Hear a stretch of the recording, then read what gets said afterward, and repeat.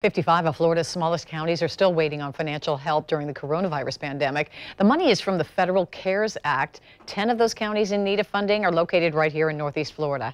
Duval is among 12 larger counties that have had the money for months.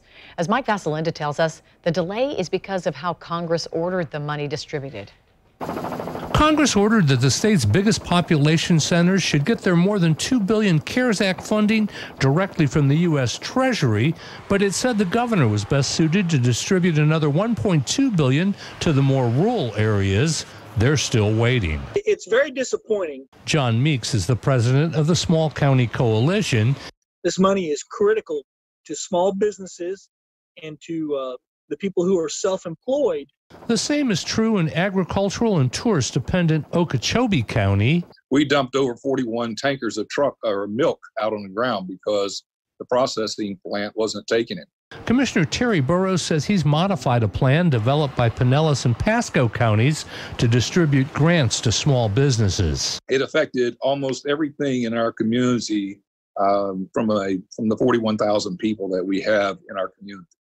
The delay isn't political. Most of the small counties still waiting for money voted Republican, while the big counties that got money mostly vote blue. And in Hardee County, the delay is creating political problems as residents watch grants being given to neighboring Polk County businesses. It's kind of made some of the uh, local uh, residents here in Hardee County feel like we're not getting treated fairly as the big counties are getting treated.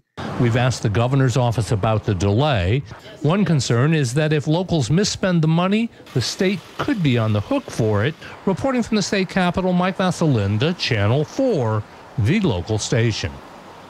And the small counties say keeping businesses alive now is critical to keeping a solid tax base in the years to come.